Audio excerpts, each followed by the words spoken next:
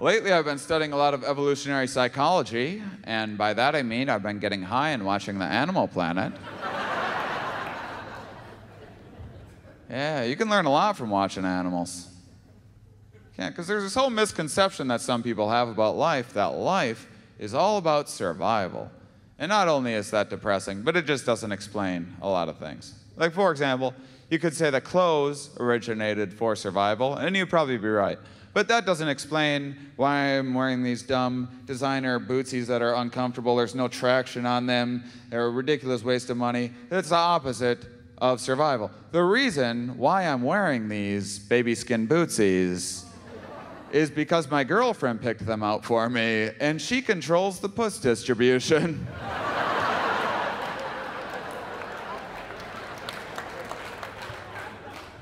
Come to find out, that's what life's about mating and reproduction. It's far more important than survival. It is. Think about it. In the big picture, in the scope of things, none of our ancestors survived. None of them. Not a one.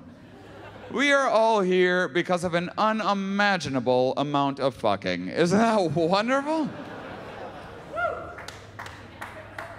And when it comes to mating, what you figure out in a hurry is that ladies, they're the gatekeepers. Females do the selecting. It's just guys' job, just to get selected.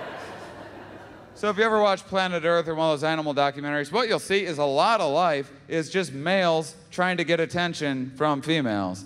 Like the classic example is the peacock. Male peacock has a big, huge plumage that the peahen doesn't have. Why doesn't she have one? Because the thing's stupid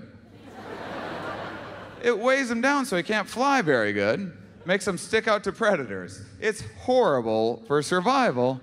So for the longest time, scientists were like, why in the hell would he have that thing? Turns out it's just pretty stuff for the ladies. That's all it's there for.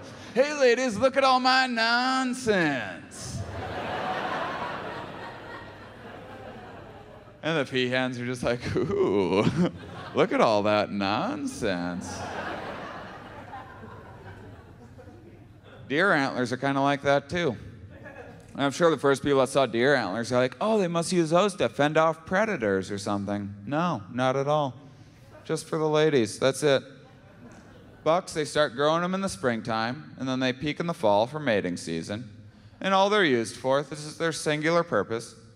As soon as a doe comes by, a deer, a female deer,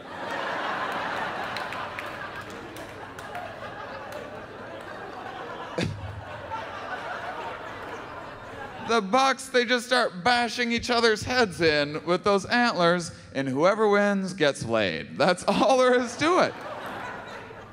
After mating season, their antlers just fall right off. Don't need that anymore.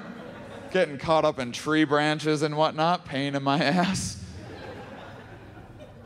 And it's not that females don't compete for mates as well, they just don't have to be quite as aggressive. I'm sure all the does are gossiping about one another.